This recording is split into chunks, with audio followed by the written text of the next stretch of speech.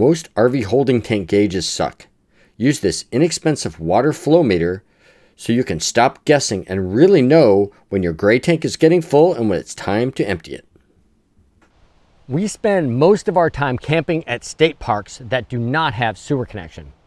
Once in a while, we stay at a Thousand Trails campground like this one here in Maine for two weeks to save money and have the luxury of a sewer connection so we can enjoy long showers.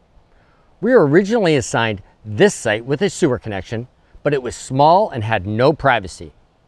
I had the opportunity to walk the park before we registered and saw this site right here along with several others adjacent to it that weren't being used. I asked if we could switch to one of these sites and they said those sites don't have a sewer connection, which is why they weren't being used. They were surprised that we would want one of these sites considering we are staying for two weeks. We told them we preferred the privacy and space and would just use our sewer tote. The main problem with using a sewer tote is filling it without overfilling it. If I overfill it, I can't disconnect the hose without spilling nasty gray water all over the place. I want to use the maximum capacity, but still have room to empty the hose so I can disconnect it without spilling. I'm going to show how I use this water meter, which makes using the sewer tote much easier and reduces the risk of making an overflow mess. You cannot rely on the gauges installed by the RV manufacturer. They're notoriously inaccurate or just don't work at all. We only use our sewer tote for our 50 gallon gray water tank. Our black tank is 50 gallons. It lasts us up to two to three weeks before it needs emptying. We made it last over three weeks last summer while mooch docking at a friend's house in Ontario, Canada, but eventually had a honey wagon come pump out the black tank. This is the Rainpoint water meter uh, that we use right now. It's also sold under the brand name Restmo on Amazon. Now I'm going to demonstrate how we use the WaterPoint water measuring device, how we connect it to the RV, and how we use it in conjunction with our sewer tote so that when we empty the sewer tote, we don't make a big mess. Now this is our Rainpoint water metering device, and this is how it comes from Amazon. There's another brand out there called Restmo, which is very similar. Now, the big difference between this and the Restmo is that this one, for whatever reason, only comes with one quick connect on one side.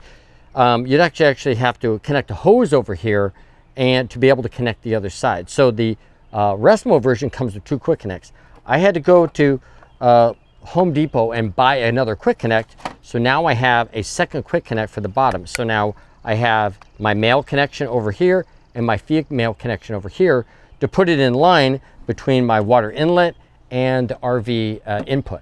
So the device itself, it has this yellow button in the middle and it has a couple of different modes here. So right now we're on auto mode, which that basically tells you the flow. So if you had water going through this, it would tell you how many gallons per minute are flowing through the line. Hit the button again, and it tells you the average number of gallons per day. It'll actually tell you, um, you know, if you don't reset it over several days. It'll tell you your average water use per day, which actually can be pretty handy. You go back here and you get to the total screen. This is the total number of gallons that we have used since the last time we reset it. To reset any one of the screens, you just push and hold for three seconds on that screen and it resets it. So we'll go back to the total screen here. So it's a really easy to use device. The way it comes together, it has these two little flanges on the side. You just pinch these right here. It pops this out. To change the battery, just put the battery right in there. It's a CR2032 battery.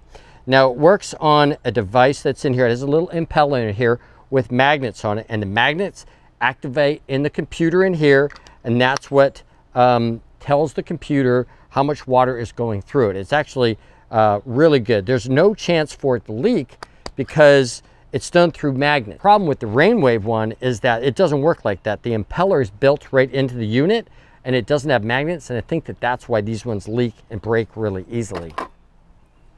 So that's the whole device right there. It's actually really simple. So uh, let's go ahead and connect it up to the RV. Basically, the easiest thing to do is to take off my quick connects. And I'm going to put the one quick connect, the female quick connect on my hose that connects to the uh, hose that's going to go to the city water connection. And then my male quick connect is going to connect right up here to my hose that goes into my city water connection inlet for the RV. Now the problem with this thing is that to actually insert it with the flow in the right direction, because if you read the flow, the flow goes this direction, has to go this direction, it actually goes in upside down. So you always have to read it upside down, which is kind of a pain. But it's really easy to connect. You just take this connection, snap it in there like that. Take my connection from my city water connection, snap it in there like that. And then we're ready to use the device and use the water. When you're ready to break down, it's really easy to just disconnect. To just pop this disconnect, pop this disconnect, and put it away for when you're traveling. Now that we have it hooked up to the RV, we get to our site, I make sure I hit the reset button. The gray tank is empty at this point, and we use our water like we normally would. I check the meter here periodically, and when it gets close to about 26 gallons, our sewer tote is a 28 gallon sewer tote. I wanna make sure I don't overfill it, so usually I don't go over 26 gallons. Right now we're at 25.5 gallons, so I know that if I empty my entire gray tank right now, it's not gonna overfill. So now I'll go come in and I'll do my gray tank dump. So all I gotta do is come over here to our gray tank. I'll make sure that I pull up my valve here that goes to the gray tank and make sure that this is all connected ahead of time. And I'm going to pull my gray tank right now.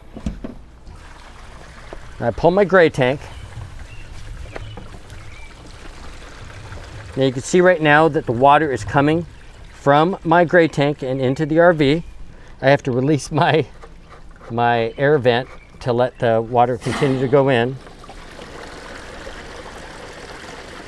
So this is where it's really helpful to use this um, method because I don't really have to watch the water going into the tank.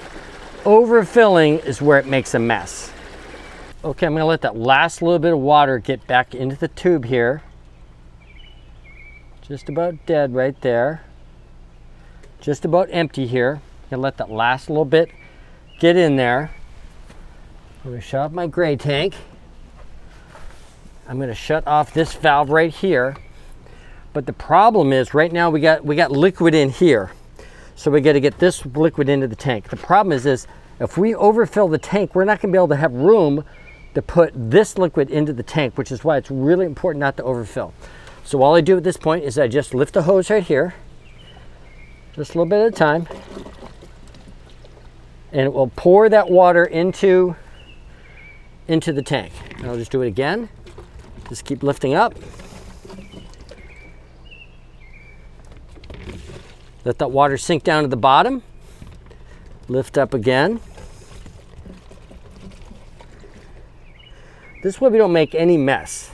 Okay, so bring that down to the bottom. So now there might be a little bit of water down here, but we're gonna disconnect here. Now we don't have any dripping right here, which is great. We hold this up. We let that completely drip, drain into the tank right there. I'm gonna switch this around here like this and kind of working under my slide here. Whoops. Now I come over to the sewer connection on the tank itself and I just connect that on there like that and I'm ready to head off to the sewer. Uh, I'm ready to head off to the dump station. Now I have my elbow on here. I have attached to the top of the sewer tote so it's nice and easy to use. We're almost filled to the top. This won't drag or anything like that. So we're ready to go. Make sure that my valve on top here is nice and tight. And now we're ready to go and dump the sewer, to sewer station. I just pulled the sewer tote over to the truck, hook it up to the ball hitch, attach my securing strap, and take it off to the dump station. Just take off my 4-in-1 from the top of the sewer tote, disconnect the hose, attach it to the 4-in-1, put the 4-in-1 into the sewer inlet, and pull the gate valve. I reposition the sewer tote back at the RV, reconnect the hose so that I'm all connected and ready to go the next time I hit that 26 gallon mark. Even if we take regular showers without conserving water, we only need to do this every three or four days. Another great thing about using a water meter is you can see how much water you're using for a shower, washing dishes, using a washing machine or a dishwasher. Just read the meter before and after and subtract. It is surprisingly accurate. We tested the unit for several months while at campgrounds with a sewer connection. We kept our gray tank valve closed and let the gray tank fill until it backed up into the shower or the sink and then read the meter. By doing this many times, we realized that the water would back up at around 55 gallons on average. We have a 50 gallon gray tank. Some of the water was going into the black tank and some of the water was staying in the drainage pipes. Doing this exercise really helped us understand how much water we were using for certain activities. If we are staying for a campground for a shorter stay, like four or five days, and do not want to have to use the sewer tote, the meter lets us know we are getting close to being full and whether or not we need to conserve water as we get close to the end of our stay. When we are dry camping or boondocking, we have a lot more information about our water consumption, helping us conserve water better. Over the last year, we've been using the Rainwave device, which does a similar job, but the Rainwave breaks easily and leaks. And I don't think it's as accurate as the Rainpoint device. We've actually gone through two or three of these before I looked at this one and found this one. And so far, it's very accurate and I haven't broken or leaked it. So uh, we're gonna stick with uh, the Rainpoint. Now, I will leave Amazon links in the description for both, but I do definitely recommend the Rainpoint device, but it's also sold under the Restmo brand. Many RVers resist using a sewer tote. They can be messy if you use them wrong and are hard to store, but can really help open up more camping options like here at a Thousand Trails Park or at our favorite place to camp, state parks, which usually do not have any sewer connection sites. Using this simple and inexpensive water measuring device makes using a sewer tote easier and less messy. That tank gauges that came with our RV were inaccurate when they did work, which is only for the first couple of months that we had our RV. They only have three lights, which really does not help at all. Would you give up a sewer connection site to have a better campsite without a sewer connection? Do you use a sewer tote or a water measuring device like this one? Please share your experience in the comments. You can also share your comments on our Instagram and Facebook pages. If you like this kind of content, we do lots of RV how-to videos like this, RV DIY projects, campground tours, and full-time RV travel experiences. If you like that kind of stuff, please consider subscribing to our channel by clicking this link below. I will also leave a link to our other sewer tote videos over here. And remember, downsizing does make sense.